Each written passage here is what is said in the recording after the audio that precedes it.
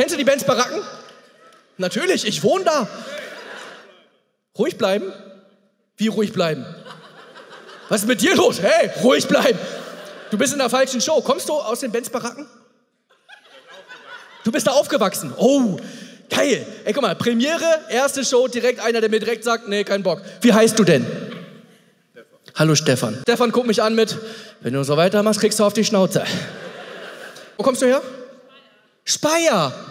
Das ist witzig. Erst Wixhausen, dann wird gekotzt. Das ist doch mega. Super. Wo ist Speyer?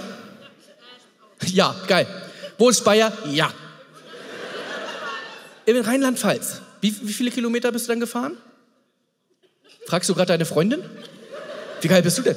Wie lange sind wir gefahren? Ich weiß nicht. Seid ihr denn zusammen hier? Seid, bitte? 70. 70 Kilometer.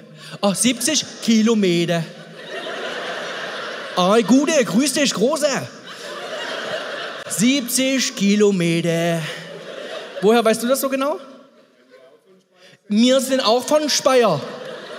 Wir haben es nicht so mit der Grammatik. Wie heißt du, mein Freund, der gerade so sitzt? Stefan, ah.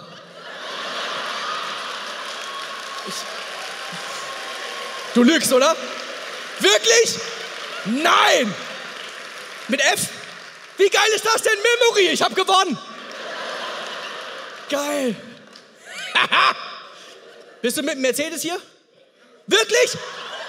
Die Benz-Baracke, es macht alles Sinn.